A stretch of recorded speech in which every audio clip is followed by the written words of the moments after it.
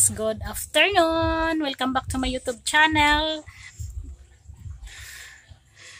Advance Happy New Year guys.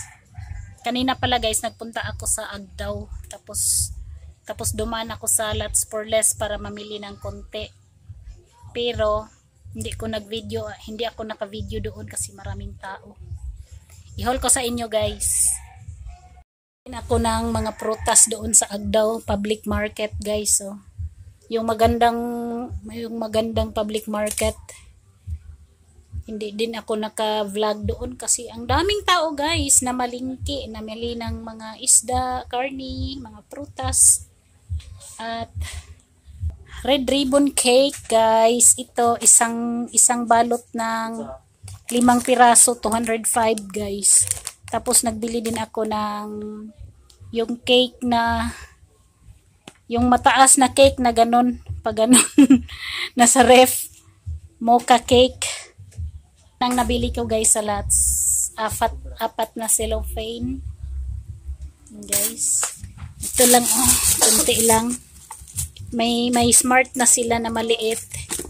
Tatlong lang piraso ang binili ko at saka 12 pieces na wings at fantasy ito guys.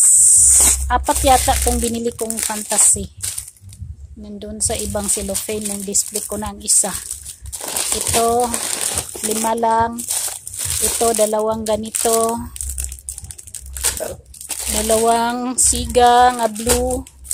Dalawang siga na red. Ito guys, oh, pochi gummy worms. Bin, nagbili ako, nagtry ako guys kasi may naghanap. May naghanap na mga bata. Ayan oh, branded siya. Ewan ko lang kung apat apat singko yung binta ko nito. Ayan. Yan lang nabili ko. Ito. 3 pesos ang benta ko nito. Ayan.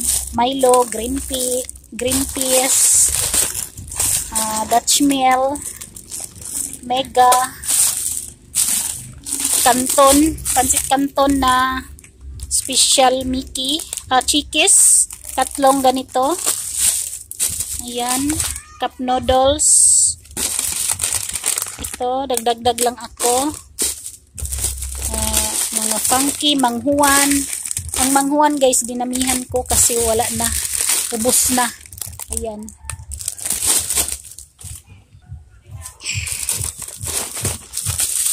Ang mga chichirya na ito guys oh. ayan. Chichirya na lahat.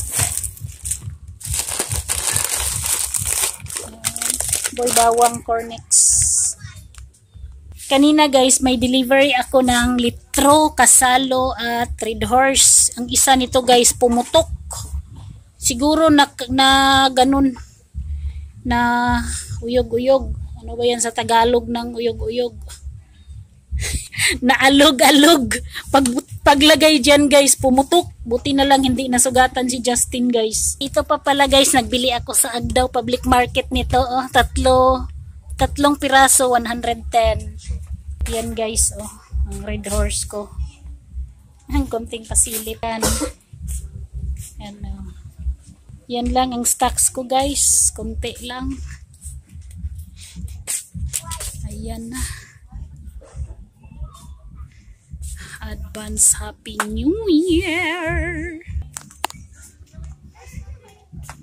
Ito guys, oh. Tatlong piraso, singko. Kasi sa isang piraso, apat ang laman. Mahal na kasi guys. Kaya ganyan ang binta ko. Madami-dami pa naman ang aking stocks ng ano guys dito. Mga chichirya. Ayan pa. Dagdag lang ako. Hi guys, good morning. Happy New Year. Ito guys, continue ito na sa video natin guys. January 2 na ngayon. Walang tao guys, matumal na naman. Last January guys. Morning hanggang gabi bumabawi yung ano, benta. Yung mga red horse na benta na. last Pasko hindi nabenta. Ngayon yung New Year nabenta ang aking red horse. Thank you Lord naman at nakabenta din kahit konti. Ngayon, January 2, umuulan dito. Ayan guys, oh. Isa pa ang customer ko guys, kanina pa ako nag-open. Tumal na naman. Sana bukas pag mag, may pasok na makabenta ng mga pambaon.